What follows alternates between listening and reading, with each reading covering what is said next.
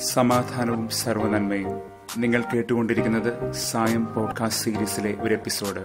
ഞാൻ കപ്പുച്ചൻ സന്യാസ വൈദികനായ ജയന്ത് മേരി ചെറിയാൻ. തന്നെ വിളിച്ചപേക്ഷിക്കുന്ന തന്റെ തിരഞ്ഞെടുക്കപ്പെട്ടവർക്ക് വേണ്ടി നാഥൻ എത്രയോ അധികമായി തന്നെ തന്നെ നൽകുമെന്ന് ഇന്നലെ ലൂക്ക പതിനെട്ട് ഏഴ് നമ്മോട് പറയുകയായിരുന്നു. തിരഞ്ഞെടുക്കപ്പെട്ടവർ എക്ലെക്ടോയി ഇന്ന് മർക്കോസ് പതിമൂന്ന് ഇരുപത്തിനാല് മുതൽ മുപ്പത്തിരണ്ട് വരെയാണ് സുവിശേഷം. അവിടെ പതിമൂന്ന് ഇരുപത്തേഴിൽ പറയുന്നുണ്ട് തന്റെ തിരഞ്ഞെടുക്കപ്പെട്ടവരെ എക്ലക്റ്റോയി നാഥൻ ലോകത്തിന്റെ നാല് കോണിൽ നിന്നും ചേർത്തണയ്ക്കുമെന്ന്. നാല് ടെസാറോസ്. സമഗ്രവ്യാപ്തിയെ സർവദിക്കിനെയും സൂചിപ്പിക്കാൻ ഉതകുന്ന ഒരു പദമാണത്. അക്രോൺ അതിരുകൾ. അവിടെ നിന്ന് ദൈവം എല്ലാത്തിനെയും കൂട്ടിച്ചേർത്ത് വാരിയെടുത്തു കൊണ്ടുവരികയാണ്. രക്ഷയുടെ പ്രാപഞ്ചിക മാനം തന്നെയാണിത്. അത് സാർവത്രികമാണ്. ദൈവത്തെ നിരസിക്കാത്ത ആർക്കും ദൈവത്തിന്റെ രക്ഷ അനുഭവവേദ്യമാണ് സമീപസ്ഥമാണ്. കഴിഞ്ഞ ദിവസം ബഹിഷ്കൃതരെ ധ്യാനിച്ചപ്പോൾ നാം ശ്രദ്ധിച്ചിരുന്നല്ലോ അപ്പോസ്ത്ര പ്രവർത്തനം പത്ത് പതിനൊന്നിലെ പത്രോസിന്റെ ഒരു ദർശനം. നാല് കോണുകളും കൂട്ടിപ്പിടിച്ച് ദൈവം ഇറക്കിയ സർവസൃഷ്ടിയും പടരുന്ന പരവതാനി. ഇന്നലെ നാം ഒരു പുതിയ സൃഷ്ടിയെ ധ്യാനിച്ചതേയുള്ളൂ. രക്ഷയോടൊപ്പം ദൈവം സാധ്യമാക്കുന്ന പുതു സൃഷ്ടി ചെങ്കടൽ വറ്റിച്ച് ഉദ്യാനമൊരുക്കിയ ദൈവം.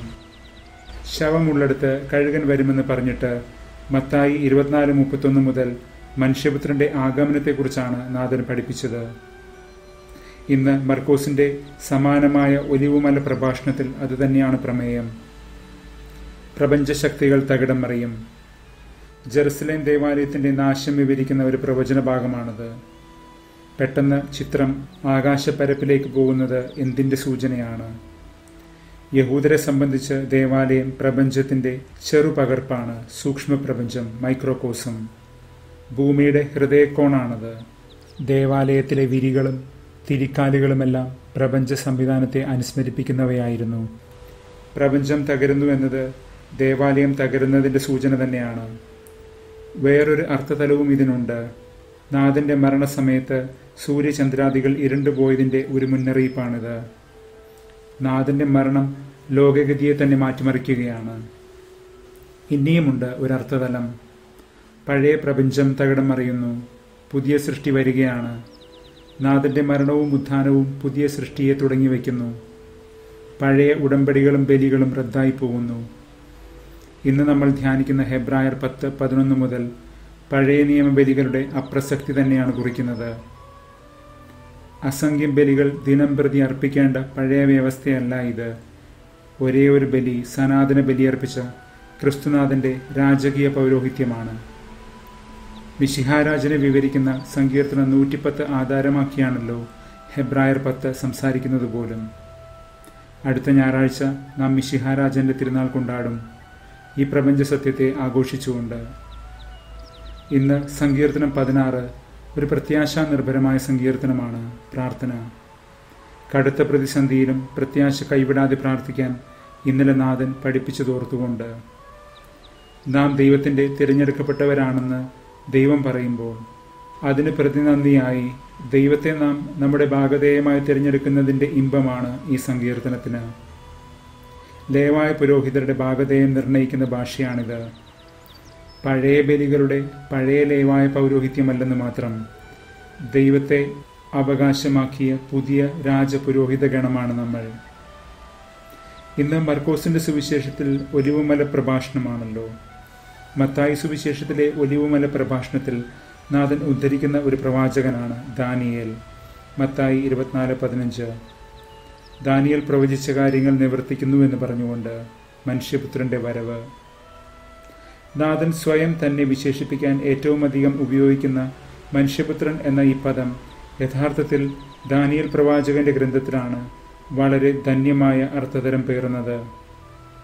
വെറും മനുഷ്യൻ എന്ന നിലയിൽ നിന്ന് ഇന്നലെ നാം കണ്ടതുപോലെ ഗരുഡപക്ഷവുമായി സ്വർഗത്തിലേക്കേറി ആരൂഢനാകുന്ന മനുഷ്യപുത്രൻ. യോഹന്നാനുണ്ടായ വെളിപാടും ദാനിയലിന്റെ വെളിപാടും വളരെയധികം സാമ്യങ്ങൾ പേറുന്നുണ്ട്. രണ്ടും കഠിനമായ വിശ്വാസ പരീക്ഷണങ്ങളുടെ പശ്ചാത്തലത്തിൽ മതഭീഷണികളുടെ കാലത്ത് എഴുതപ്പെട്ടതാണ്. യോഹന്നാന്റെ വെളിപാടിൽ ആദ്യമേ തന്നെ ശ്രീഹ ഉദ്യതനായ ക്രിസ്തുവിനെ കാണുന്നുവെങ്കിൽ ദാനിയറിന്റെ ഗ്രന്ഥത്തിൽ മനുഷ്യപുത്രനുമായുള്ള സമാഗമം അവസാന ഭാഗത്താണ്. ദാനിയേൽ ബാബിലോണിൽ ഉന്നത സ്ഥാനവും ജ്ഞാനവും സിദ്ധിച്ച വ്യക്തിയായിരുന്നു. എന്നാൽ ആ ഗ്രന്ഥത്തിലെ ഓരോ അധ്യായങ്ങളിലും കൂടെ കടന്നുപോയാൽ അവന്റെ ജീവിതത്തിന്റെ വലിയ കയറ്റിറക്കങ്ങൾ നമുക്ക് കാണാം.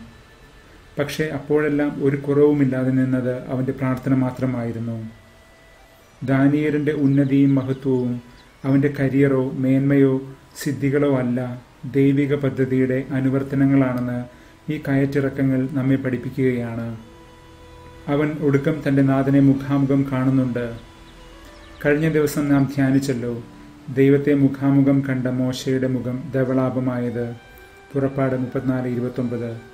അതുപോലെ തന്നെ മനുഷ്യപുത്രന്റെ മിന്നലൊളി കണ്ടവരും അവനെ പോലെ വിളങ്ങുമെന്ന്. ഇന്ന് ദാനിയൽ പന്ത്രണ്ട് മൂന്ന് പറയുന്നു ജ്ഞാനികൾ ആകാശവിധാനത്തിന്റെ പ്രഭയാൽ നിറയും. അനേകരെ നീതിയിലേക്ക് നയിച്ചവർ നിത്യനക്ഷത്രങ്ങളെപ്പോലെ വിളങ്ങും.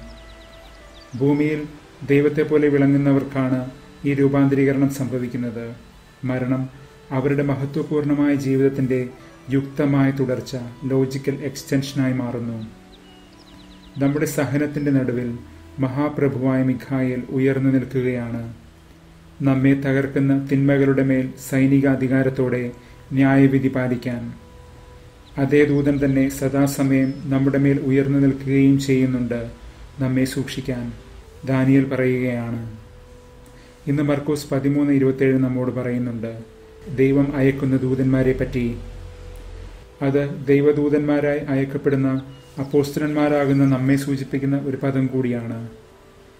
നാം നാല് പാടു നിന്നും ലോകത്തിന്റെ അതിർത്തികളിൽ നിന്നും എല്ലാത്തിനെയും എല്ലാവരെയും കരുതലോടെ ദൈവസന്നിധിയിലേക്ക് എത്തിക്കേണ്ട ദൈവദൂതന്മാർ തന്നെയാണ്. ദൈവത്തിന്റെ ഇടതും വലതും ഇരിക്കുന്ന മഹാപ്രഭുക്കന്മാർ.